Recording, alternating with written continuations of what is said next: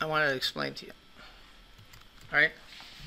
Why, why is knowing this, the effects of the sympathetic nervous system, important? Let Timmy explain to you why.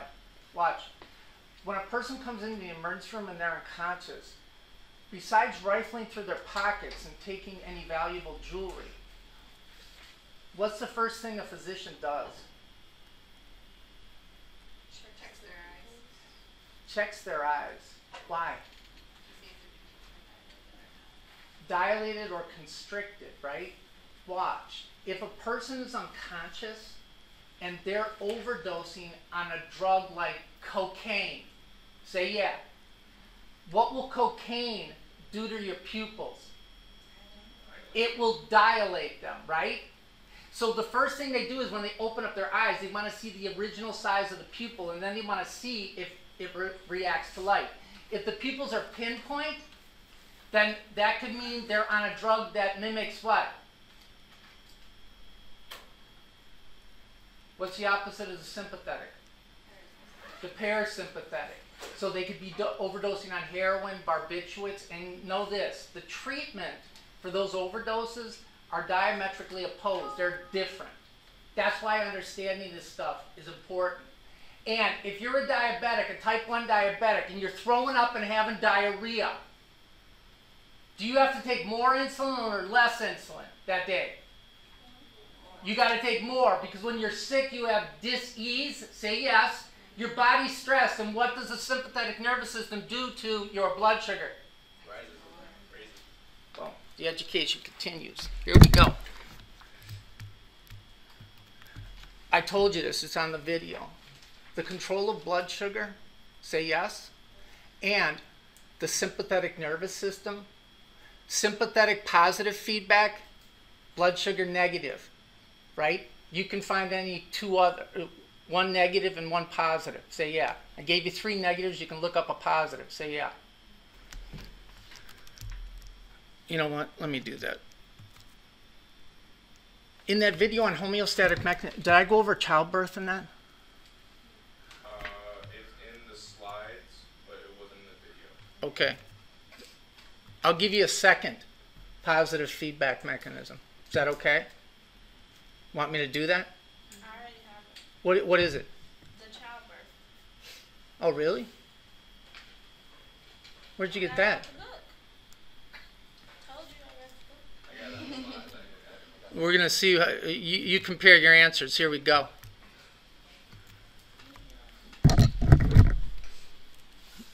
All right, ready? Wait, wait, wait, wait, wait, wait, wait, wait.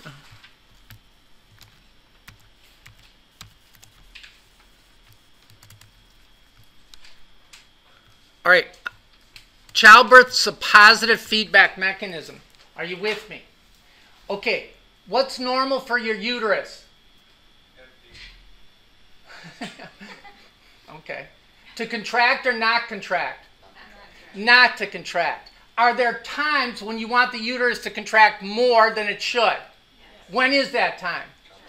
Very good. So I want this whole thing. Read your answer, make sure it matches up. Say yeah.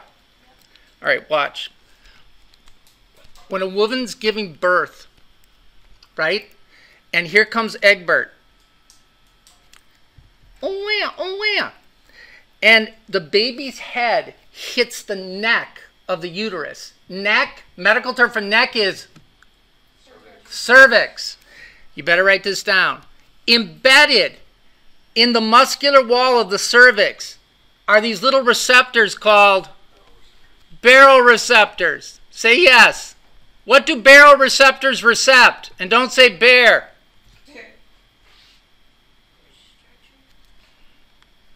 Pressure. Weight. Say yeah. Guys? And these receptors are nerves. Who's with me? Watch. And those nerves are going to stimulate what part of your brain? That's right, the hypothalamus. So watch, and I want this. So you got your H thal, or P Diddy, or just Diddy. So baroreceptors are going to stimulate the H thal baroreceptors. Say yeah, guys. Who's with me? What's the little dingleberry that hangs below the hypothalamus and is directly connected to it? The pituitary gland. Boom. And there are two lobes to the pituitary gland an anterior and a posterior. Who's with me? So, when baroreceptors are stimulated by pressure of the baby's head in the cervix, that's going to stimulate the hypothalamus, and the hypothalamus is going to produce a hormone called oxytocin. Oxytocin is produced in the hypothalamus and then it's transported to the posterior pituitary, uh, pituitary gland. And the posterior pituitary gland then dumps the oxytocin into the blood. Say yes. Oxytocin has its effect on a lot of parts of the body. But watch, its most important function during child delivery is oxytocin. I want this. Increases the force. Say yes. Increases the duration. Dur. I can't. Duration. I got it. And it increases the frequency of uterine contractions. Now, watch. Once Egbert pops out, will there be any more pressure on the cervix? So the baroreceptors will no longer be stimulated, so the hypothalamus will no longer produce any more oxytocin, and the pituitary gland will not release anymore. Say yes. And because you're moving away from homeostasis, this is a positive feedback mechanism. Listen up, because this is true. Watch. Once the baby pops out, the, the effect of oxytocin lasts for a couple of hours, sometimes days. And the purpose of that is when what else you got to deliver after you deliver Egbert? The placenta. So once the placenta is removed, oxytocin still is high. And the reason for that is that it will constrict the muscles, and when it constricts the muscles, it squeezes off the blood vessels of the endometrial lining so the woman doesn't bleed to death. Say yeah. Watch. When a baby is born, first thing they do is suck out goods out of his nose, clean him off a little bit, do a quick APGAR score, and then poke his bottom of his foot and get some blood and check his blood work, right? Then they put some silver nitrate in his eyes so you don't get bacterial infections. Say yeah. Then they swaddle the kid and put him in the mother's arms. And the reason they do that is because oxytocin levels are the highest right after birth. And oxytocin stimulates the limbic system to increase bonding between mother and child. That's why they want to get that baby into the mother's arms as soon as possible. And what they're doing now is they're giving guys nasal oxytocin during delivery so that they bond to the child too. For real. Tell me you got that. I want that. Did you have all that? Most of it. Yeah, well, now you got all of it. Education continues. Here we go. That's two positive feedback mechanisms. Are you with me? Okay. Switch gears here just a bit. What's the most important organic compounds in the human body? Carbon, hydrogen, oxygen. Uh, name them. What? Uh, lipids. Uh, uh, uh, uh. Of these three, which is the most important? Amino acids. Say yes. That's very good. Here we go. How many people have a body part that's nothing but fat besides fat? Is your left leg fat? Just pure fat? No. Is your right leg pure fat? No. Here we go. Watch, and I'm going to go through this real quick. We are combinations of those organic compounds. Who's following me? Watch, watch. If you take a carb and you combined it with a protein, what do you get? A what? No, carb. Oh, There you go. It's a glycoprotein. And glycoproteins are cell receptors. Who's with me?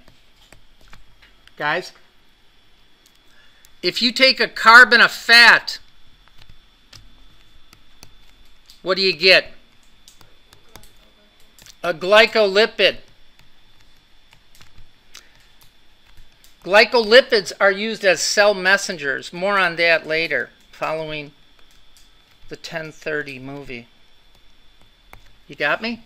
Cell membrane messengers. I'm, I'm sorry. Cell messengers. Say yeah. Guys? What's next? If you take a fat and a protein, what do you get? A lipoprotein. Give me an example of a lipoprotein. That's very good. You did good. I'm proud of you. Yeah. Everybody at the end of class, give Tanya 37 cents each. Cholesterol. Do you need cholesterol? Yes. Why? you create steroids cells. What's a steroid hormone? Hormone that has cholesterol in it. That's exactly right. Uh, Jennifer, shake his hand, okay? Too lazy to get up. How many people followed this? Now watch. This is the important one. If you take a lipid and an inorganic compound, what inorganic compound am I thinking of? What inorganic compound do you think I'm thinking of?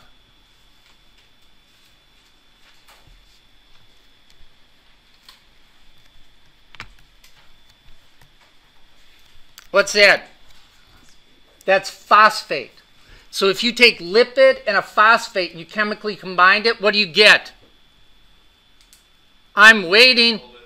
Uh, you get a phospholipid. And what do phospholipids make up? There you go. All cell membranes are made of phospholipids.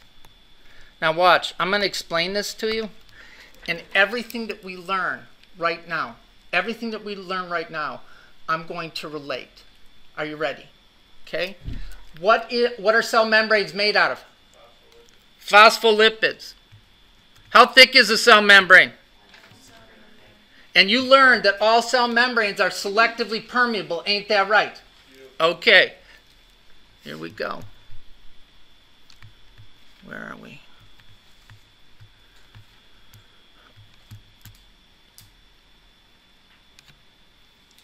Where the hell is it?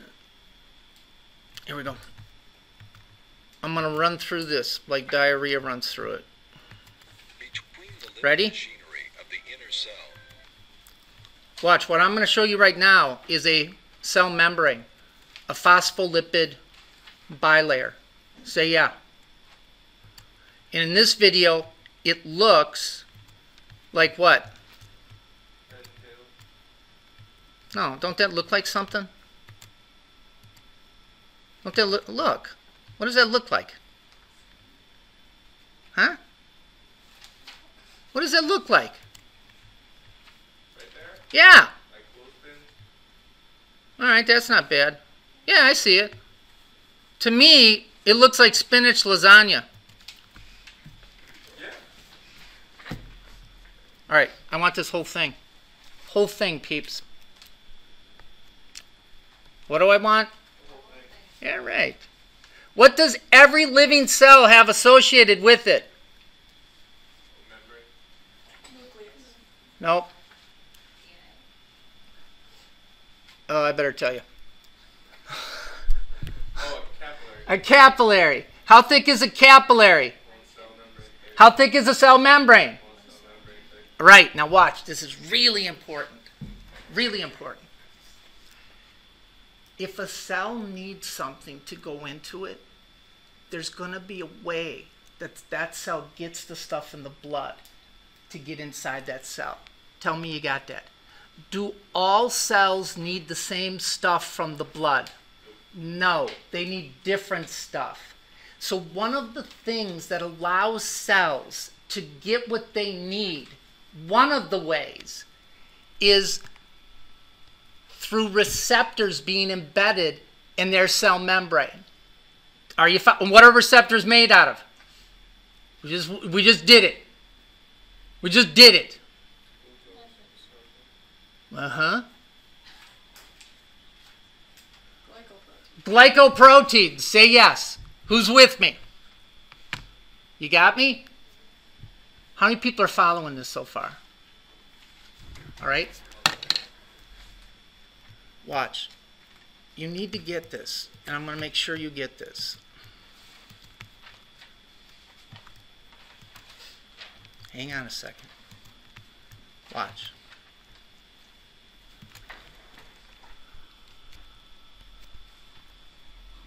What's this? What's this? Cell. What kind of cell? Cell. Right. You don't know. I haven't named it yet. Ready? Watch.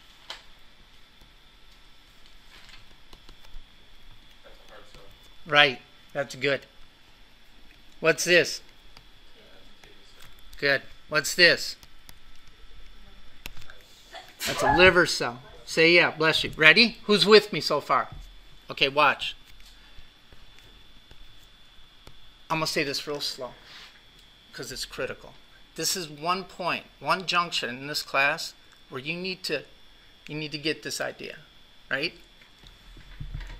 There's a bunch of stuff in the blood, right? Not everything in the blood affects every different type of cell equally. You got me?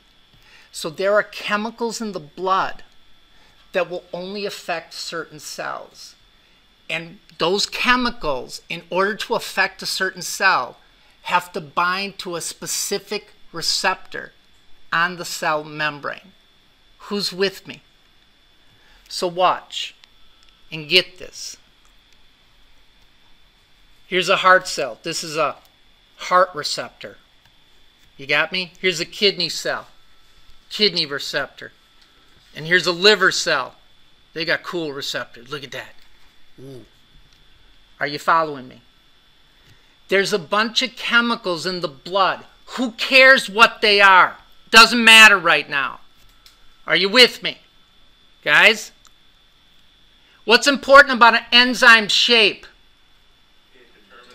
That's right. So you're not going to believe this. The shape of a receptor determines what chemicals can bind to it. Yes or no? You're following me? And because different cells do different things. Nah, that's beautiful. So watch. I'm making this up. I'm making it up. These are a bunch of chemicals. Say yeah, bless you. Can this chemical here affect a liver cell? Why not? It doesn't have a receptor that matches that shape of the chemical. Who's with me? Can it affect a kidney cell? What's the only cell it can affect? A heart cell. And when that chemical binds to that receptor, are you with me? It's going to produce some kind of chemical reaction inside that cell. Who cares what it is right now? Tell me you got that. Guys? All right, now watch. Watch. I'm going to name this.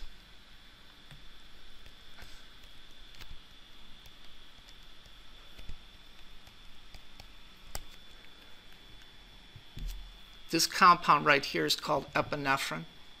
Who's with me? Guys? When epinephrine's released into the blood, what happens to your heart rate and blood pressure? It goes up. Are you with me? So, watch.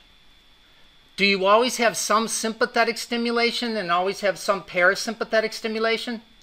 So do you always have some epinephrine circulating? Yes, you do. When you're scared, you simply have more. That receptor has a name. Any idea? That's so close. So close. It's called a beta receptor.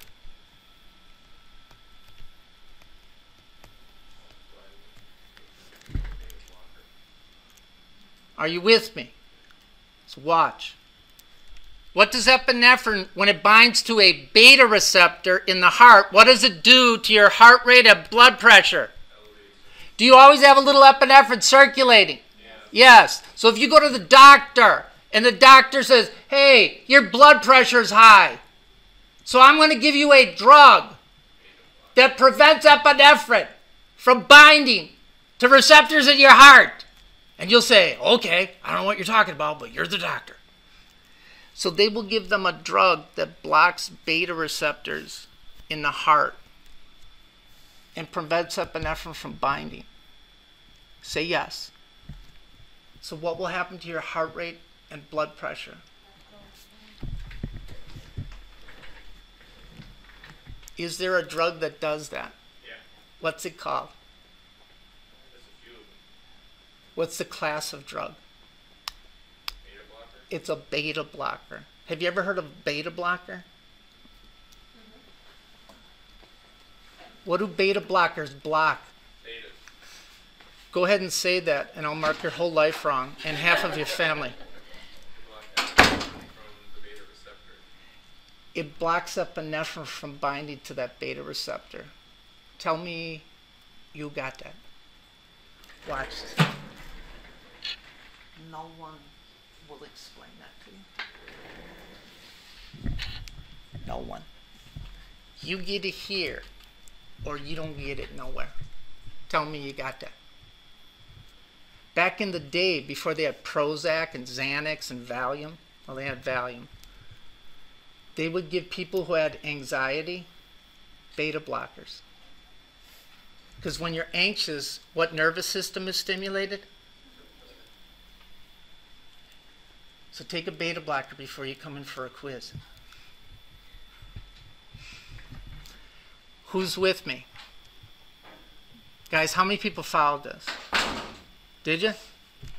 That is, of course, beautiful. Let's get back to our cell, right? There's a video on Timmy YouTube videos, and it says how stuff moves into and out of a cell. Did you watch that? On your quiz, you're gonna have to explain to me seven ways stuff moves into and out of a cell. So how many ways do you think I'm going to go over? No, I'm only going over six. Too bad for you. Ready? Here we go. Capillary. So this is outside the cell. This is inside the cell. Who's with me? Do all cells need oxygen? Yes. Where's oxygen highly concentrated? In the arterial end of the capillary. What's a byproduct of metabolism that cells have to get rid of and we've talked at nauseum about for the last couple of classes? CO2. God. Where's CO2 highly concentrated? Where do things always go? High to low. Now watch. Because all cells need oxygen and all cells produce carbon dioxide, it wouldn't make sense to have a special way. Instead, oxygen and carbon dioxide simply diffuse from high to low. So, one way that stuff enters or leaves the cell is simple diffusion, and it always goes from high to low. And it doesn't mean it always goes from high in the blood to low in the cell. It's where that stuff is highly concentrated and then lowly concentrated. Say yes. Boom. And you're going to tell me what are the two things that simply diffuse? What are they? And you're going to tell me which way it goes. And we learned too, and I will never forget it. It was a Monday. I told you that when oxygen leaves the blood and goes into the cell and CO2 leaves the cell and goes into the blood, arterial blood becomes what? And where do all the veins of the body dump their venous blood? Right side of the heart. And where's the right side of the heart pump the blood? To the lungs. The, the education is continuing. Who's with me? Guys? Yes? Yes or no? All right, here we go. Get this right. Where's sodium highly concentrated? Where's potassium highly concentrated? Where's calcium highly concentrated? In this class, it's in the blood right now.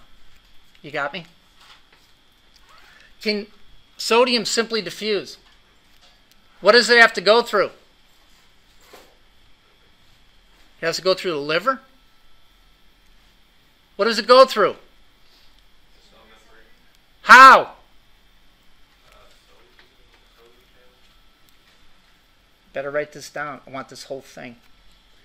In order for sodium to go from the blood into the cell, it has to go through a specific protein. This is an example of a structural and functional protein. A protein ion channel. And this protein ion channel is specific. What's the only thing that can go through a sodium protein ion channel? Sodium. And where does sodium go? It, why does it go into the cell? That's right. It moves through a sodium ion channel high to low. Say yes. Who's got me? Guys? How does potassium leave a cell? Through a potassium ion channel. And where does potassium go and why? to the blood. From the cell to the blood. Why? Where is it highly concentrated? The cell. Where is it lowly concentrated? In the blood. Very good. See? Now watch. I know how you guys try to roll. And Timmy going to put the kibosh on it right now. Ready? Watch. Sodium ion channel, potassium ion channel are not two different ways. They're examples of one way. The education continues.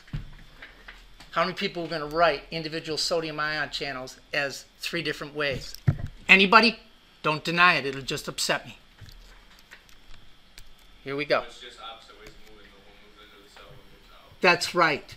They're examples of one way stuff can enter or leave a cell. How does calcium get into it? Work with me. And where does calcium want to go and why? Why? Tell me you got that. Many people are with me? All right, watch. Why is knowing this stuff important? If you're a nurse, are you going to give patients drugs? Yeah. Hopefully prescription drugs. Right? You don't want to give them a crack pipe here. Ready? Okay. How many people have ever had work done on their teeth? Do you want to feel that pain? What did they give you to make sure that you don't feel that pain? They give you the cane families. Say yes. Right? Now watch. Listen up. Don't write this down. Just listen to this. I'm explaining to you why understanding this is important. Watch. In order for a nerve to fire, sodium from the blood has to leak into that nerve cell. And when it does, it produces an electrical impulse.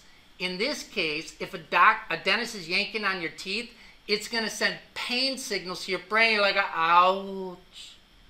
Say yeah. You don't want to feel that pain, do you? Good. So they give you a drug called Novocaine or Pontocaine or Tetracaine. Say yeah, the cane family. And you're not going to believe this. It blocks sodium ion channels in nerves. And if sodium can't leak in, do you feel pain? No, you don't. Tell me you got that. Watch. NCSI or whatever the show is. See wet bag? Right? Yeah. That's cocaine. How do they know? Say you got a little buzz. How it affects their nerves. How would they know? How did you They know? do, they do cocaine. Walked right into that one. huh? It numbs their tongue. Tell me you got that. Who's with me? Now watch. How do people act when they're on cocaine? Right? It mimics the sympathetic nervous system. I'm just talking now. The sympathetic nervous system causes all of your blood vessels to constrict. That's why when people snort cocaine, is looking up your old address. If they do it enough, the blood vessels in their nasal septum remain contracted and the nasal septum dies. That's why a lot of these movie stars, they end up getting nasoplasty. They have to get an artificial nasal septum because it's trash from snorting cocaine. Write that down. Say, yeah. Little kids, when they get cut, especially on the head, do they want a needle coming at them?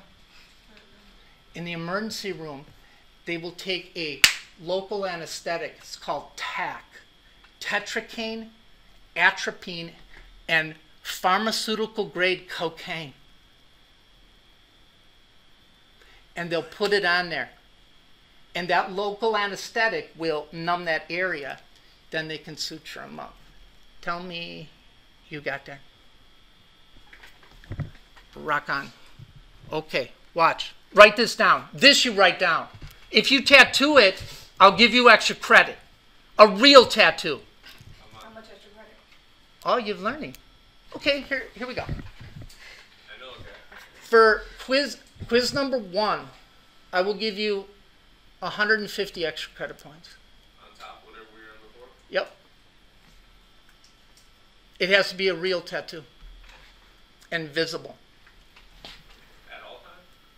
Yeah. Well, I mean, you know, it's got to be on the arm or leg.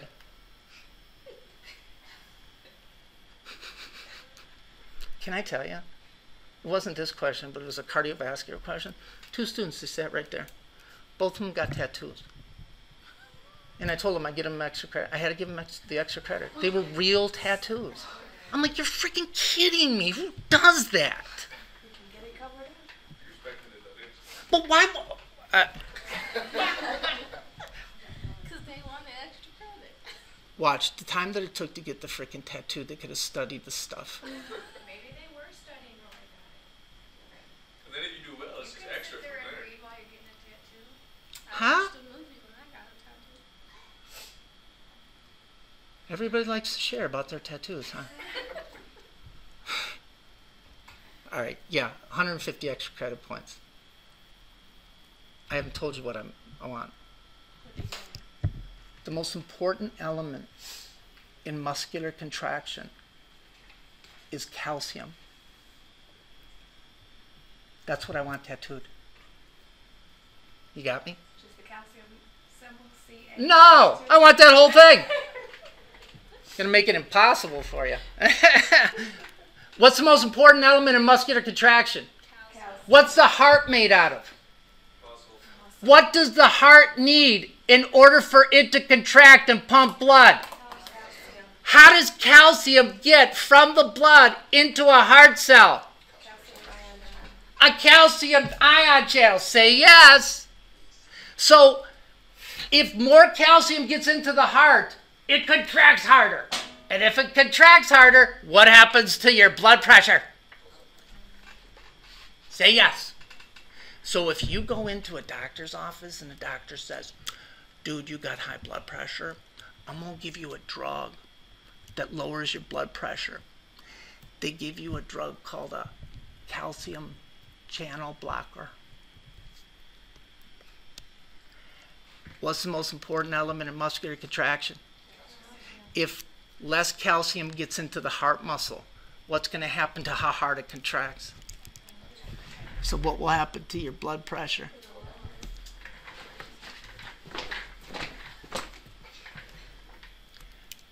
You have no idea how good this information is.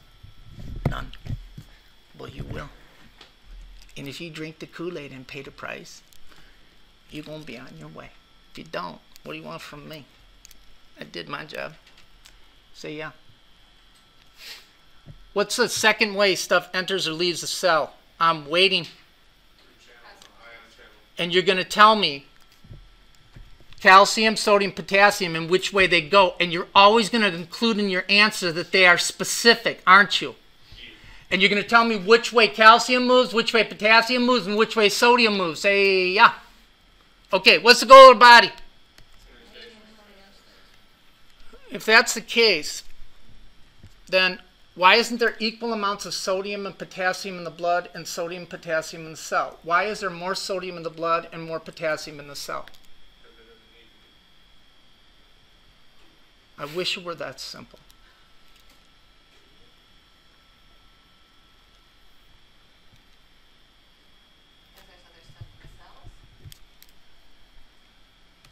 Jimmy's going to explain it right now.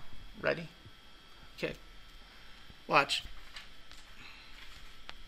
Timmy will be the blood. You will be the inside of the cell. Are you ready? And we should do this. So this point gets hit home. Every day when you come in, you will give Timmy $3. You got me? And when you leave, Timmy will give you $2 back. At the end of the semester, who's going to be positive and who's going to be negative? That's right. I always make sure it works out that way too. Maybe we should try that. Maybe 30 and $20 so I can retire early. Are you with me? Listen up. How many people got a sump pump in their house? Watch. If water tries to get into your basement, the pump pumps it out. Say yeah. If your power fails and you ain't got a backup, what happens to your basement? Right, you get a swimming pool because that pump requires energy, don't it? Here we go. I want this. This better be one of those ways. One of the ways that stuff can enter or leave a cell is through a pump that's embedded in all cell membranes. And that pump, and I'm spitballing, pumps sodium and potassium. So, what do you think the name of the pump is?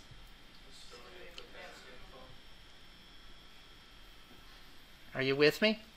Now, watch. Where does potassium want to go? Where's it highly concentrated? Yeah, you've been tricked, huh? You've been tricked.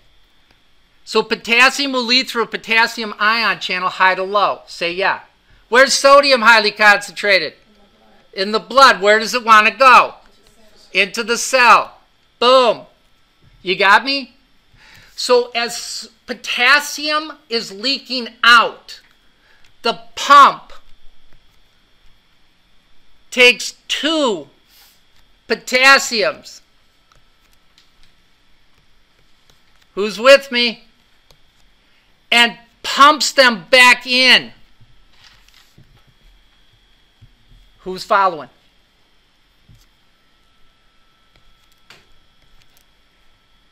And at the exact same time,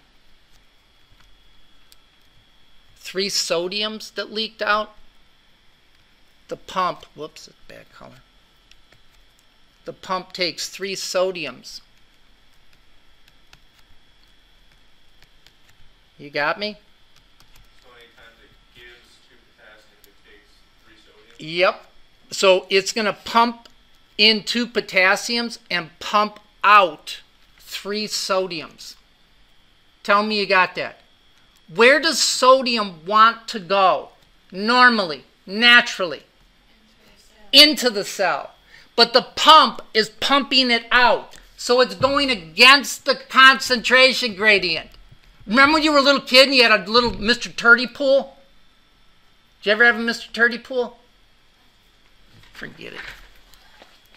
And you make a whirlpool in your pool, and then you kind of ball up and let the current take you, and then you turn around and try to walk against the current, and if you're little, they just blew you away. Are you with me? To walk against that current, it required energy. To go with the current didn't require energy. Say yes. So, anytime you are pumping ions against the concentration gradient, it requires cellular energy. What's the only cellular energy a cell can use? A lot of cells there. ATP. Tell me you got that. Who's with me? Guys? And watch. Any process the cell uses to move stuff into or out of a cell, and it requires energy, is called active transport. Active transport is a huge category. The sodium potassium pump is an example of active transport. Why? Because it uses cellular energy. Say yes, bless you. Who's with me? Yeah or no? Watch. Watch. You need to get this.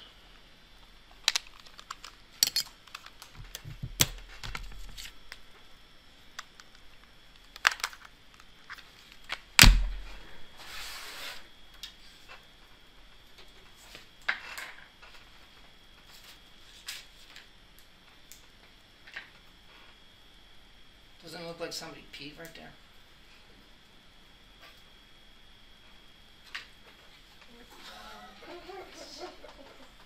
Here we go. What's this? Battery. A railback. What's that? And what's that? What can a battery produce? Energy. What kind of energy? I heard it. Electricity. Tell me you got that. So you better write this down. Anytime you have a difference in charge across the cell membrane, meaning the outside is positive and the inside is negative, Mariah, right? That cell has the potential to produce electricity. So the sodium potassium pump is in place to create that difference in charge across the cell membrane. Say yeah. That's why it's not three potassiums and three sodiums. It's two potassiums and three sodiums. Say yeah. Right? That's why you give me three bucks and I only give you two bucks back because I want you, you to be negative. Say yeah. Look, somebody peed right there. So what? So, so it's, they both have a positive charge, but because one is more positive, the other one's technically negative? Right, Okay. right. Do you understand? Uh, uh, how many people followed that? Watch. And that's why I did the $3 and the $2, right? If you give me $3 and I only give you $2 back, who's going to be more positive and who's going to be more negative? So, relative to the outside of the cell, the inside of the cell is always negative. Yes or no? Guys? Yes or no? So the um, the ion channel just does that naturally because the high to low, but then the pump is that to create energy or just to give No, balance? it uses energy to create the difference in charge across that cell membrane. Are you with me? Now watch. Watch. How many people get liquored up? Have ever gotten liquored up? Good. You get extra credit. Right. If you go out and party, right, then you stop at McDonald's, get two Big Macs, two large fries, and a Diet Coke. Then you come home, you go to bed, you wake up at the crack of noon, right? And you're like, I'm never doing that again. And then when you're young, at 8 o'clock, your friend goes, You want to go out? Yeah. Watch. When you wake up at the crack of noon, you go into the bathroom, you look in the mirror, like, still look good. Right? When you're young, you can eat a lot. And here's why. When you're young, your cells are more leaky to sodium and potassium. So what does the pump have to do in order to maintain concentration of sodium in the blood and potassium in the cell? It has to work harder. And what does it require? Energy. Where do you get that energy from? Food. As you get older, guess what happens to your cell membranes? they get tired. They become less leaky to sodium and potassium. So if they're less leaky, does the pump have to work harder? No, it doesn't, right? If it's less leaky, the pump doesn't have to work because it's working against the concentration gradient. That's why you look at a rice cake and you get five pounds of cellulite on your ass. That's how it works. And that's a fact. Now watch and listen up because this is true. There's a hormone that controls how leaky your cells are to sodium and potassium. That hormone is called thyroid hormone. If your thyroid hormone is high, the cells become more leaky. So what do you do? You lose weight because you're using all that stuff that you ate to make ATP to make that pump work. If you're hypothyroid, cells are less leaky, the pump doesn't have to work as hard, so you gain weight. The education continues. Tell me you got that. And about 30% of everything you put into your pie hole goes to making the sodium potassium pump run in your cells. So the sodium potassium pump determines your basal metabolic rate, meaning how many calories you burn at rest. How many people got that? All right. Does the sodium potassium pump require ATP? Yes. yes. So if it requires ATP, it's a form of active transport. You cannot write active transport as a form of a way stuff gets into and out of a cell. That's just a generic term. I want examples, and one example of active transport is the sodium potassium pump. Say yeah. Simple diffusion ion leak channel sodium potassium pump. Write this down. I'm not. You're a student. Watch. Watch. In cells that produce electricity, in cells that produce electricity, in cells that produce electricity, there are specific channels. These specific channels are called voltage gated channels. What does voltage gated imply? What does it imply? It implies electricity, right? What parts of your body produce electricity? Your brain and and your heart, right? Muscles don't produce electricity, right? Nerves signal muscles to contract. So where do you find voltage gated channels in what cells? Heart cells and nerve cells. Say yeah. And watch. They are specific. And I want this. And this is not going to make a lot of sense right now, but you just need to understand this and remember this. Voltage gated channels are specific. So you have sodium voltage gated channels, potassium voltage gated channels, and calcium voltage gated channels. And I'm going to say this real slow.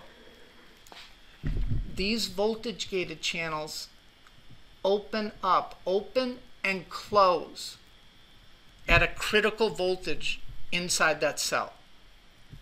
Do you understand? And each one of these voltage gated channels opens and closes at a different critical voltage inside that cell. Who's following this? And unlike voltage gated, or unlike leak channels, when you open up a voltage gated channel, ions flood in. If you got a leak, dribble, dribble, right? If you got a flood, massive pouring of electrolytes into and out of the cell. Say yes. Voltage gated channel specific, each one opens and closes at a different critical voltage inside that cell. And when they open, ions flood in or out, depending on which one is open. Say yes. Boom. How many is that? Four. Very good. Okay, here we go.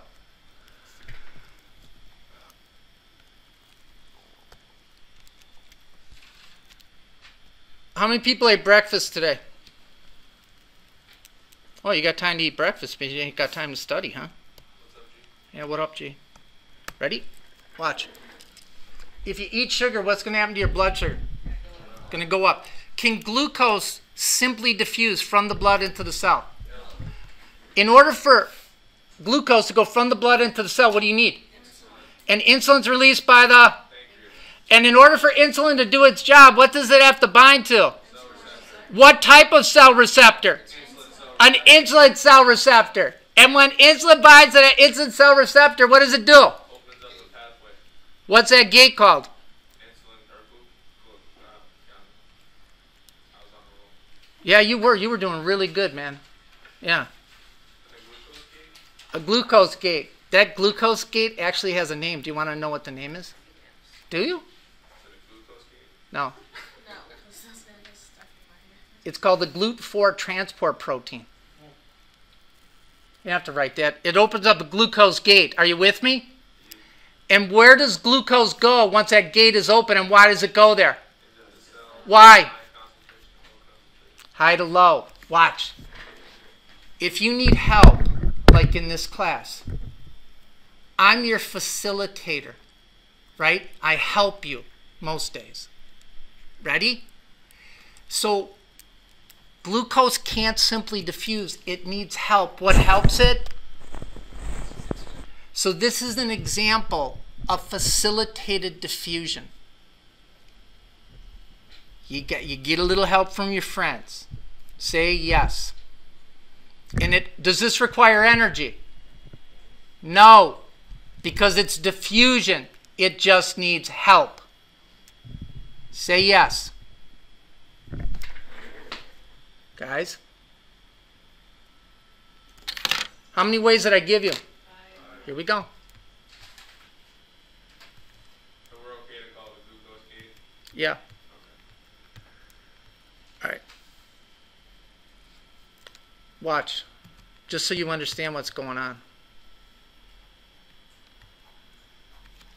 See this guy right here? The cell membrane? You with me? Watch.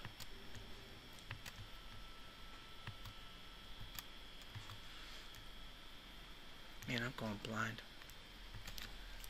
When I do this, when I do this,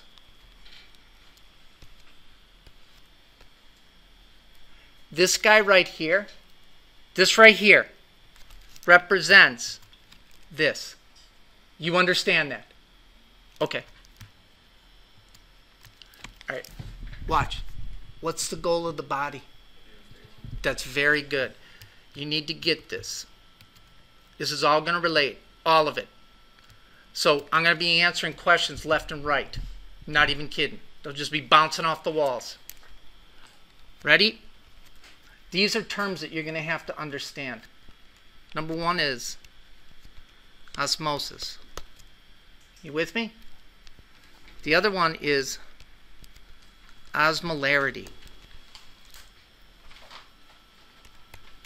Say yeah. And the other one is osmotic pressure.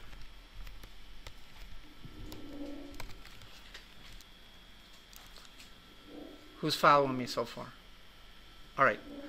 The first one I'm going to tackle is osmolarity. What you need to understand and you need to get into your head is osmolarity is a measurement.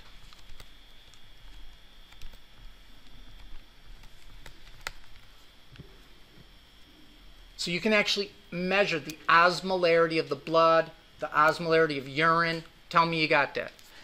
And in your book, that evil thing, osmolarity is defined as solute over solvent.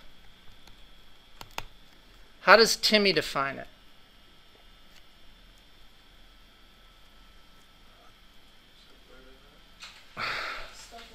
There you go. Stuff over water. If it ain't water, it's what? Stuff. Tell me you got that. All right. So, all right, here's some math. I forgot the volume in my Jeep.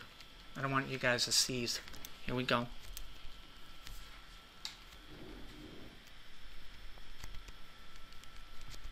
And here's here's the real important thing. It don't make no never mind the stuff. Do you understand that? It don't make no never mind the stuff. And I'll show you, give you an example. Watch. If you wanted to increase osmolarity, if you wanted to increase the osmolarity of a solution, what are the two things you could do? You could increase the stuff and keep the water the same, right? Or you could keep the stuff the same and do what to the water? Decrease it. Say yes. That's how you increase osmolarity. Are you with me? Okay, here we go. What's osmolarity? It's a measurement, right? Now, what's the goal of the body? You, Yanni, this stuff's exciting. I'm killing it, man. Ready? What part of your brain controls hunger, temperature, thirst? Or H thal, or P Diddy, or just Diddy? Better write this down.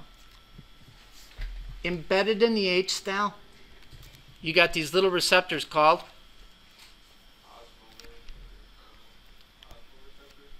Yeah. Osmoreceptors. What do osmoreceptors recept? Osmoreceptors detect changes in osmolarity. Are you with me? Guys? Where's sodium highly concentrated? My name is. Where's potassium highly concentrated?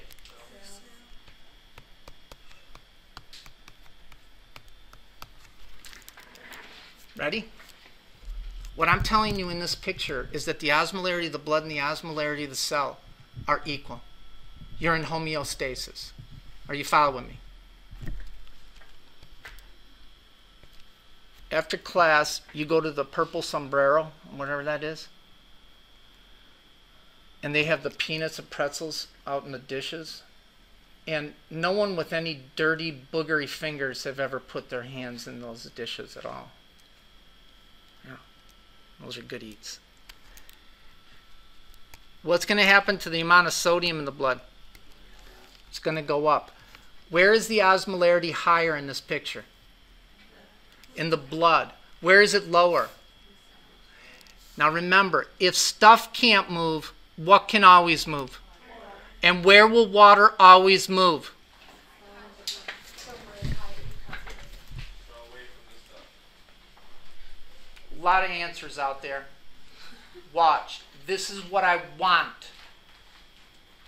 Where is it low osmolarity? The cell. Where is it high osmolarity? If stuff can't move, water will always move and it will always move from low osmolarity through a selectively permeable membrane to high osmolarity until the osmolarity of the blood and the cell are equal. Say yes. When you remove water, oh, oh, here it comes. When you remove water from the hypothalamus and the stuff stays the same, what happens to the osmolarity in the H thal? It goes. See? It goes what? Oh. That was your other choice.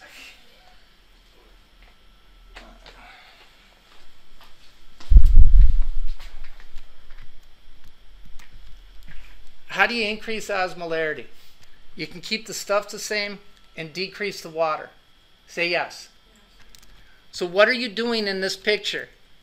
What are you doing? You're taking water from the H thal and removing it. Are you removing any stuff? So, what happens to the osmolarity? It goes up. And anytime you increase osmolarity in the H thal, are you with me? That stimulates osmoreceptors and tells you to drink. That's why eating salt makes you thirsty. Who's with me? You're following this. Watch another clinical thing. Listen up because this is true. Where's your uh, sodium level high in the blood? Where? Where in the body? Right. Where does blood circulate? Your heart. Vein. Artery. blood. I, I better tell you. It circulates all over to every cell of your body, right? So, our watch. Are all the cells of your body experience high sodium levels? Yes, good. That's why I put a bunch of sodium in there. So all the cells are experiencing that high sodium. So what's going to happen to all of the water in all of your cells? It's going to move because it's going to move from low osmolarity through a selectively permeable membrane to high.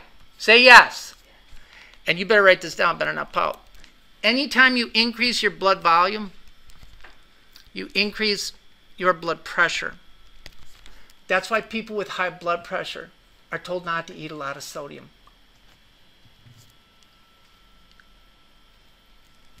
Say yes. The only thing that osmosis is, is what? Water. So, what's another way stuff can move into and out of a cell? Osmosis. And you're going to tell me how it works, aren't you? Say yeah. Okay.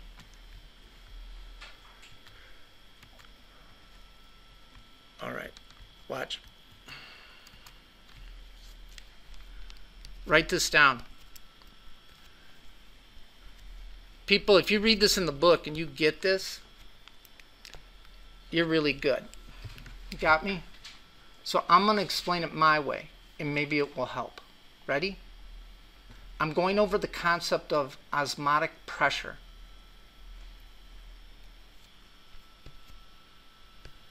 Osmotic pressure is the ability of stuff to draw water towards it by osmosis.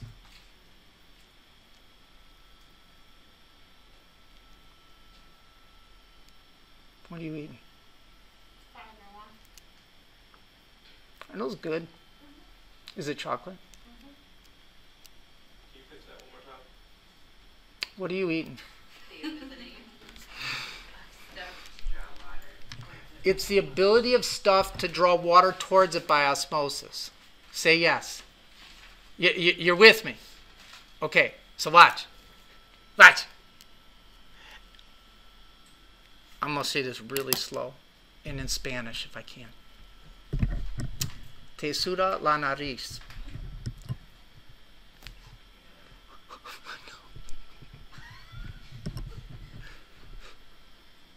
You know what I just said? You have a sweaty nose. I work with this lady at the company. Eh? Just real quick, I can tell you this story. She worked in the manufacturing there. Her name was Elizabeth Rodriguez. She died of pancreatic cancer about four years ago, and I told her that she had it, and she didn't believe me, and she ended up dying. But anyways, it could be 95 below zero, and she would always have these little beads of sweat on her nose. So I asked one of the other ladies, "Go, how do you say you have a sweaty nose in Spanish?" so that's what I'd say to her. Now, I guess you had to be there.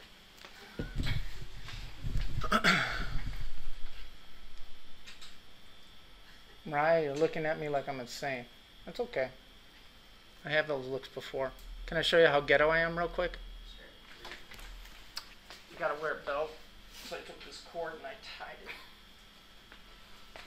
We had that conversation. Oh, we had that one? Oh yeah, I couldn't find the tourniquet. Here we go. Look, Maybe you need a belt for Christmas instead of a fit. Instead of golf clubs. Golf clubs and no belt. Your laces work. No Fitbit, you're getting a belt. don't hate. Ready? Appreciate. Here we go. Watch. Watch. If stuff can't move, what can always move? So, what's going to have the greater osmotic pressure, the blood or the cell? The blood. Because I just told you, osmotic pressure is the ability of stuff to draw water towards it by osmosis. Ain't that right? And you better get this. It don't make no never mind the stuff. It don't make no never mind how big the stuff is. The only thing that matters is the number of stuffs. I cannot be any clearer with that. I can't be any clearer than that. How many people got that? Yes or no? Watch. And now it, it'll hopefully make a little more sense. How big is sodium?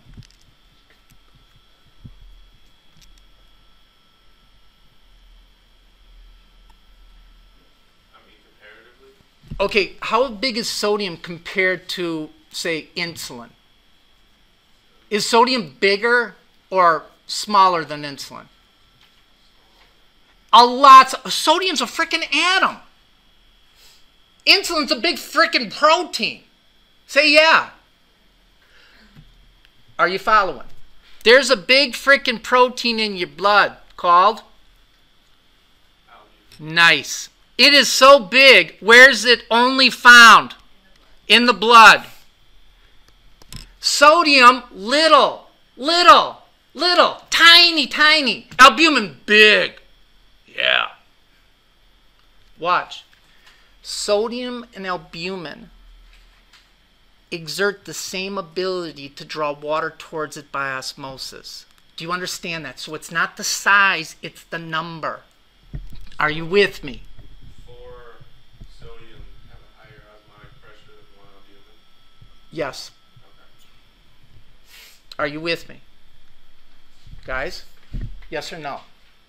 So, where is sodium and albumin? Right, and what's this blood vessel called? A capillary. So, what two things determine capillary osmotic pressure?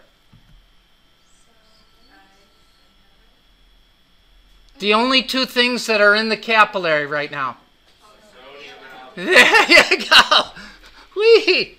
T- tell me you got that. Guys? So watch.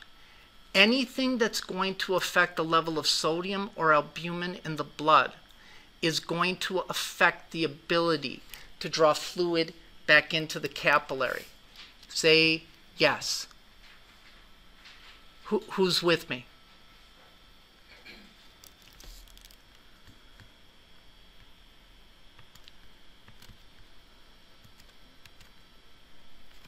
Man, I cannot see. I need glasses. I need a lot of stuff. I'm a mess. But I don't care. You know why? Hmm? Yeah. That too. Hang on. What was I going to show you? Oh, I got it.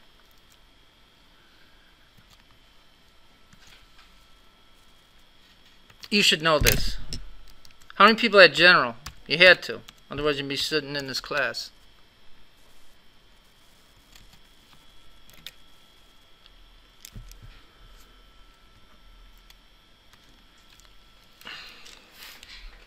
Listen to this. Listen to it.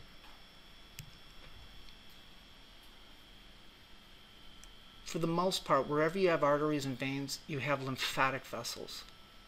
Lymphatic vessels work like the sewer system of the body. Any fluid that escapes the cardiovascular system and doesn't enter the cell gets drained back to the right side of the heart through the lymphatic system. Are you with me? Now watch, I'm going to show you something. Where is my blood pressure greater?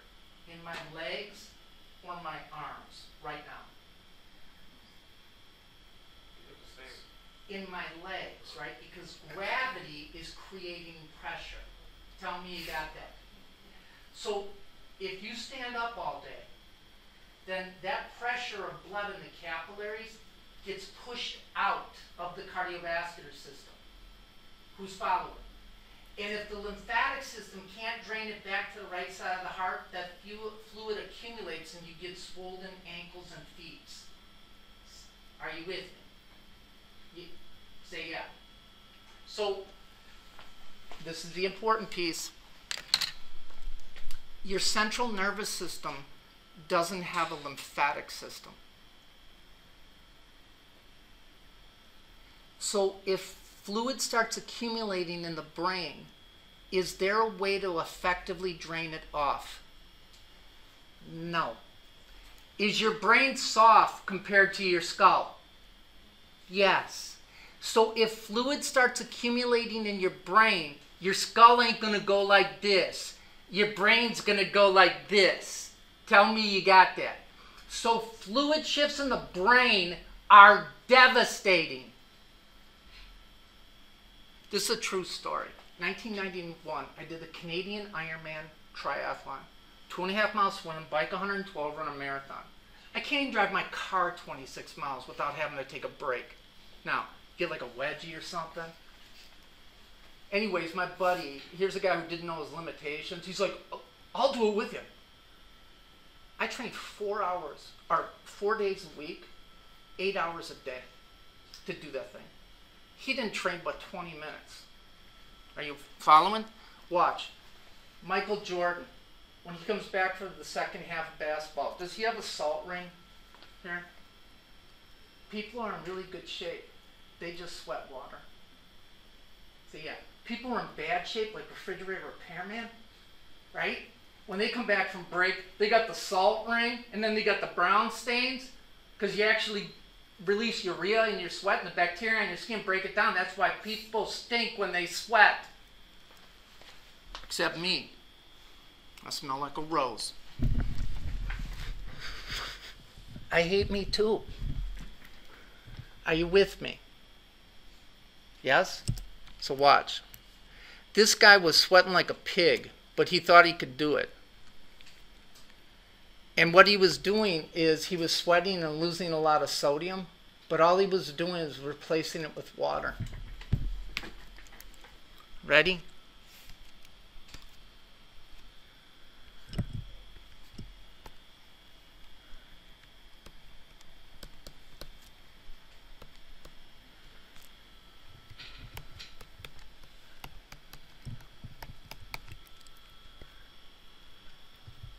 if you have low sodium, Al will call it, albumin, your sodium level drops. Tell me you got that. Where is the osmotic pressure the greatest now? In the cell. So where is water going to go? It's going to go from the capillary into the brain cells because water always moves from low osmolarity through a selectively permeable membrane to high. Say yes. And the brain doesn't have a lymphatic system, so what does your brain do? It swells and you die. He died that weekend. He died that weekend. Yep, 28 years old. Boom. There was an incident a couple years ago, radio show. Who can drink the most water and not have to pee? Lady did it. She drank water. So she diluted her blood. So her sodium level dropped. Her brain swelled and she died. That's why low sodium would be bad for you. Tell me you got that. How many people followed that? Here we go. I got a question. Yep. Like a sidebar. So when they tell you to drink eight, eight fluid ounces a day, is that what they have factored out as a healthy range? Y- Yes, watch. You lose water through urine, breathing, sweating. It's called insensible loss. Like you're losing water right now through sweat glands, but you don't even know it. The only time you really know is when sweat's pouring off you, right? So uh, this is how you determine if you are hydrated. When you take a leak, if it is clear or a very, very light yellow, you are adequately hydrated. If it is a dark yellow, you are dehydrated. Your body does stuff that makes sense, right? If you ain't taking in enough fluid, you're not going to say, hey, I got to take a leak every five minutes. The kidney's going to hold on to that water and only get rid of what it needs to get rid of. Say yes. So drink water and reading the textbook keeps you hydrated. Here we go. What's the highest your blood sugar ever gets? Ever gets? If you're not a diabetic. When you, ooh, a little higher. 180. Tell me you got that. Watch. If your blood sugar is 500, I'm just making up a number. 500. What are you? Dying. You're what? Dying. Yeah, but what what caused it? Well, you're not producing insulin. And what does that make you? A diabetic. Say yeah. Watch. What up, G? If you say what up, G, on your quiz, I'll give you extra credit. How much extra? Good answer. Good que- or good question. I will give you um, I'll give you an extra five points. Per time?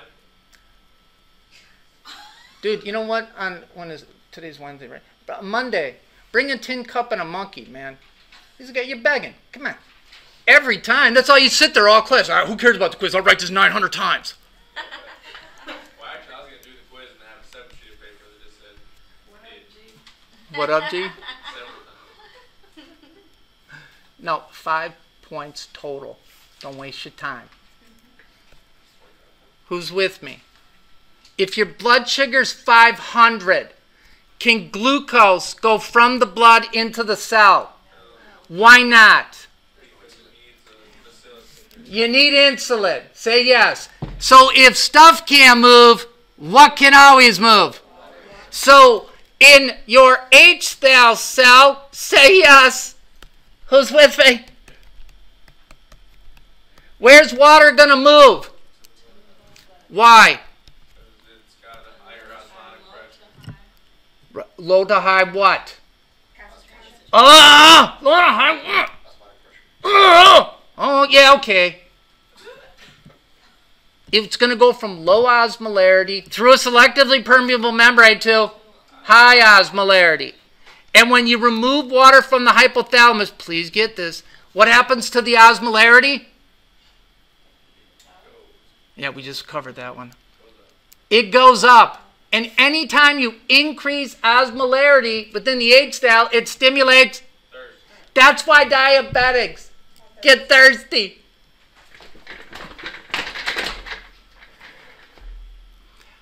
Watch. If you've ever gone in for a physical, like a complete physical, you have to figure out, fill out that health history. The doctor will ask, "Do you have uh, increased thirst? How many times at night you get up and go pee?" Because what they're, if you answer yes to these questions, they're going to worry about the fact that you may have diabetes. Say yes. Watch.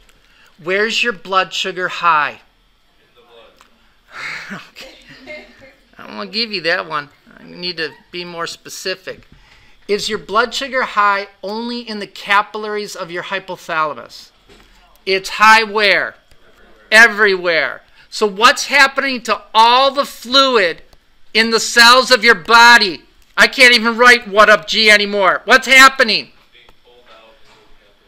All cells are having their water pulled out by the osmotic effect of glucose, right? Because you have increased osmotic pressure in the blood. So water's going to go. And you better write this down. I'm not even playing. Anytime you increase your blood volume, regardless of how, you increase your blood pressure. Say yes. And anytime you increase your blood pressure in a resting state, it makes you pee more. That's why they pee more. Say yeah. Yes or no? It makes total sense. How long is this class today? Two hours? Right, it's because we did it, uh, we switched, right? Okay, and every, you're okay with that? All right. Tell me you got that. What's the only fuel the brain can use? If you don't have insulin, can you get glucose from the blood into the brain? So what the hypothalamus thinks is that you're starving. That's why the three classic polys of diabetes are polyuria, peeing a lot, polydipsia, you're drinking a lot, and polyphagia, you're eating a lot. Boom. If then your blood sugar just goes up again. So could that be a positive? Don't even think like that. Don't listen to that. Don't listen to that. Don't write that. Good. How many people followed that? You got that. Now watch. If you want to actually learn something, then you need to understand this. Watch. I explained all of that stuff with knowing osmosis and diffusion. If you don't understand that, you will spend the rest of your life as a nurse trying to remember these signs and symptoms. Say yes. Now watch. Watch how simple this is if you're working in an emergency room and a doc, the EMTs call it and say, Savoy 6, Savoy 6, you know, this is Bulldog, right? And they say, we've got a person we're bringing into the emergency room and their blood sugar is 800. What are you going to get ready? You're going to give insulin ready and you're going to get big IVs ready, right? Because you have to rehydrate those cells. Tell me you got that. Now watch. People are, we don't have to know this stuff. We just wait till the doctor tells us what to do. In an emergency room, all right? I know, it's a joke, right? If you ain't ready to act, that person dies. So, and if you don't know it, then what they do is they get sick of you, like in 13 seconds, and they spin you around and they go, and they punch your ass out of there. And then you go find a job at a nursing home or something like that. Say yeah. And I'm going to tell you this, and this much is true. Only the best nurses survive in the ICU and the ER. Because you got to know it. So if your dream is being an ER nurse and you don't know this stuff, start practicing lines like, It'll be okay, sweetie. We'll get you up. We'll get you to the commode. That's what you're going to be. And you think I'm lying. You watch. And watch. Doctors don't like their time wasted because doctors are paid based on how many patients they see a day. So if you don't know what you're doing, they get rid of you. Because they're going to find someone who does. Because you got a good nurse. They make your life easier and they make you more money. Yep, the education continues. Bum. How many people got that? Man, I'm killing these questions. We could probably have the quiz today.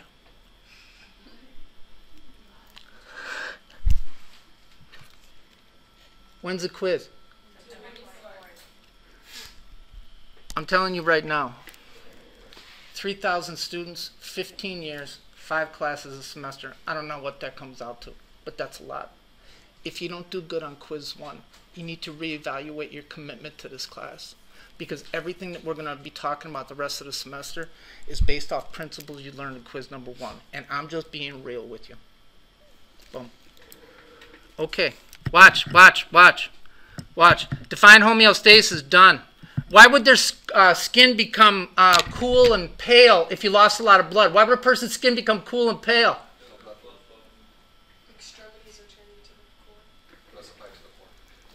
the core. You're right. You're gonna do that better though, right? Blood flow is restricted from peripheral to the core, keeps the organs alive. We learn more though. Watch. Is getting shot or stabbed stressful? What's the purpose of the sympathetic nervous system being activated? To prepare the body to run or fight, or to prepare the body to survive. Tell me you got that. What happens to your heart rate and blood pressure?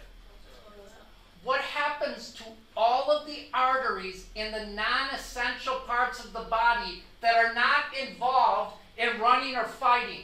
Or if you're bleeding, they constrict. Tell me you got can you live without your arms and legs? Yes. You can't live without your liver.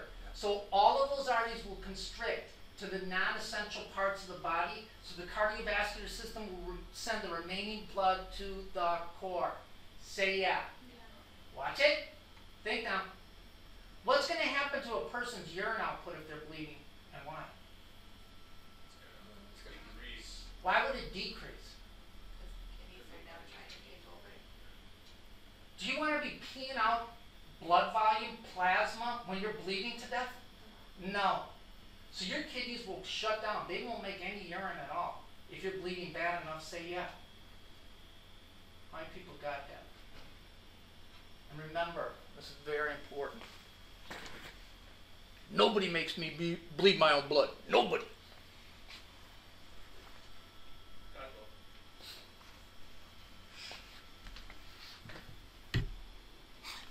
I hate me too. Here we go. I did that. Eight. Okay, listen up. I'm here to help you. Forget about dynamic equilibrium.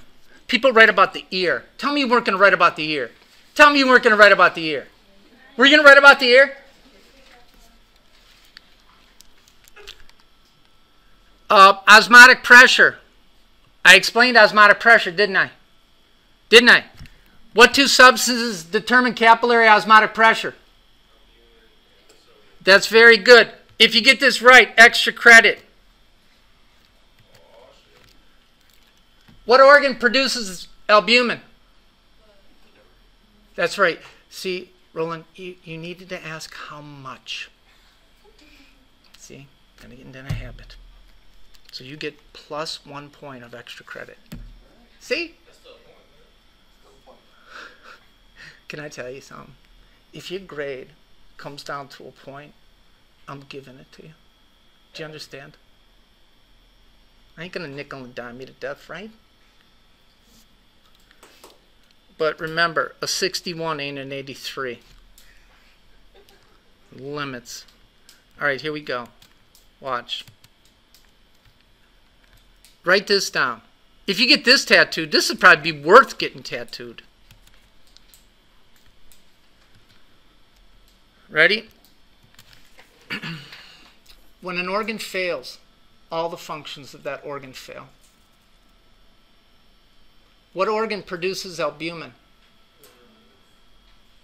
What two things determine capillary osmotic pressure? That's very good.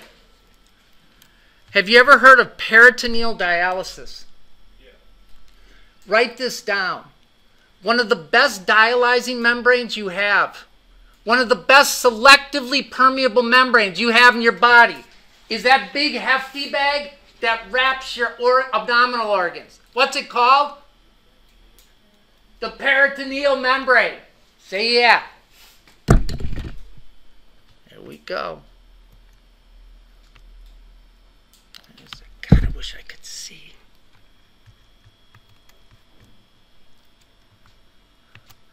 I'm going to draw a picture for you. It's going to be a good one.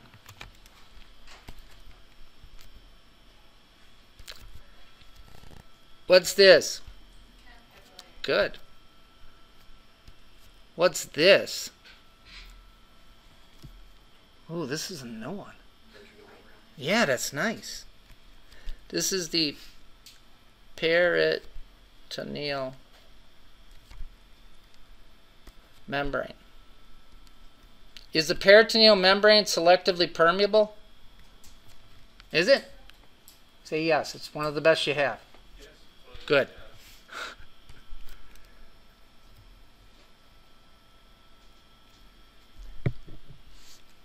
That's your belly. He's got Audi.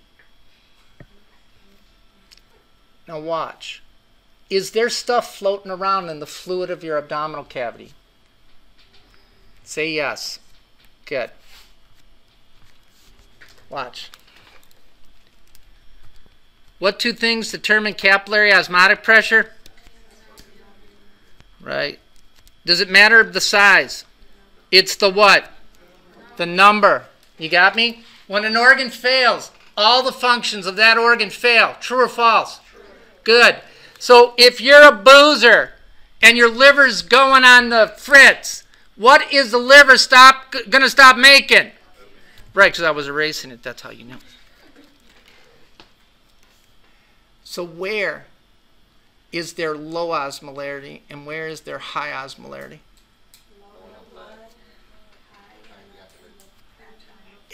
And if stuff can't move, what can always move?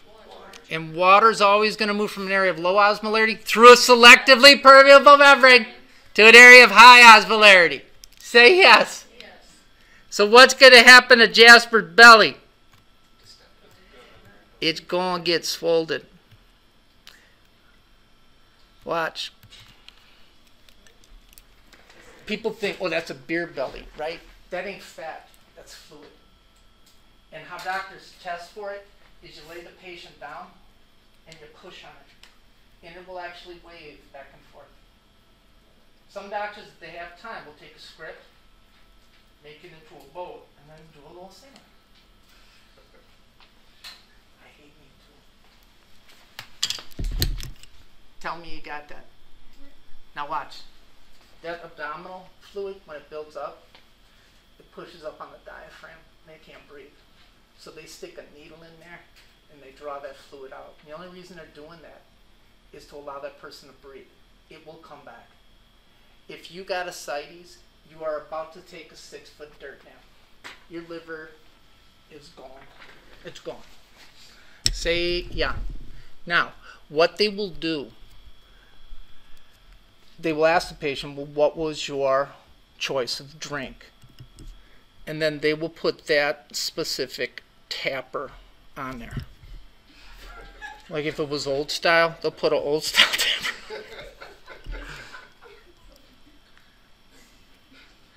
I hate me too.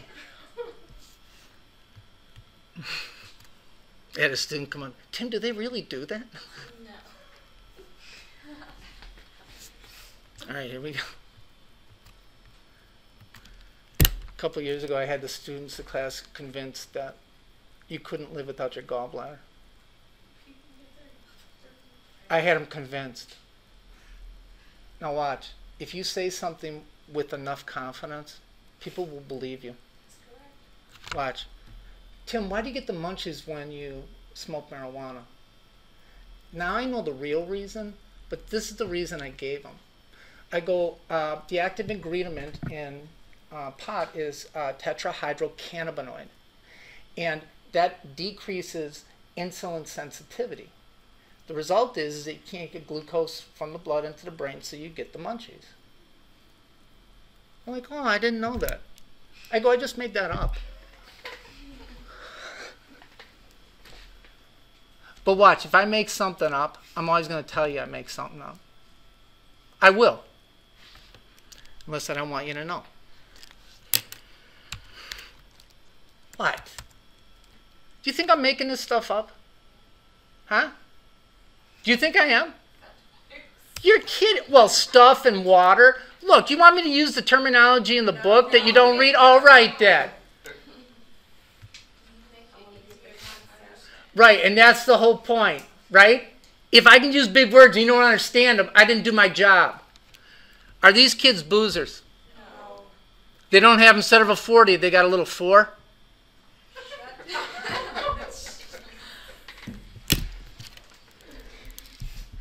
This is called kwashiorkor. This is what the people believe. They believe that it's the evil spirit that infects the first child when the second child is born. Right? What doesn't the first child get to do anymore after the second child is born? They don't get to breastfeed. When you go to the grocery store, Pick 'n Save, or maybe festival foods, what's the most expensive thing there?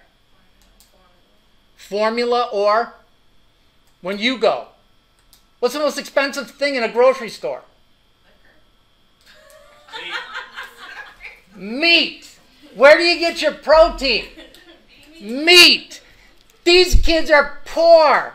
Do they get to eat steak and I don't know, Salisbury steak and mashed potatoes every night? No. They eat mush. That's very low in protein. And what's albumin made out of? Protein. So if you ain't eating protein, the liver doesn't have any building blocks, those amino acids to build albumin. And the fluid shifts. Bam! The education continues. The difference with these kids, you take them to McDonald's, the drive-through, two Big Macs, two large orders of fries, and a Diet Coke. In two weeks, the liver will start manufacturing albumin. Water gets sucked out of their belly. They pee like a racehorse for a few weeks, and they are straight. The dude who got it from liquor, he's on his way out. He's going to take a six-foot dirt nap. So what's the long-term effect if they stay like that too long? uh, stunted growth and uh, uh, poor brain development. A lot of these kids who are starved like this, they um, are slow mentally. Yeah. You know what always bothers me? Is that you can communicate with people from around them all over the place, right? All this stuff. And there are still people who are starving. How, how does that work? How does that work? I don't know. You should sell it. You should sell it. When you retire. No, I'm going golfing. You know what I'm gonna do when I retire? I'm gonna be a golf ranger on the golf course because you get to golf for free. And drive around the car. Hey, you're playing slow. Hey, fix your divots. Let's go. You got any beer? I worked at a golf course for two years. Yeah, it's fun. That's what I want. And no more future making. I'm done. I made my futures. Then I ambulate home. Wait, we did good today. Hang on. The hell is that? Man, I cannot see.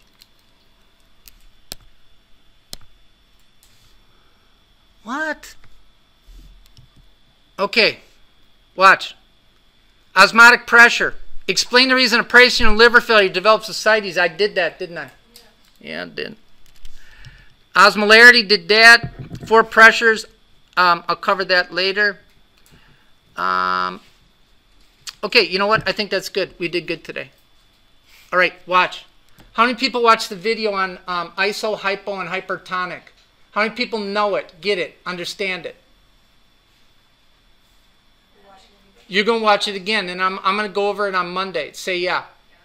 And then um, make sure you watch the uh, structure of DNA, cancer.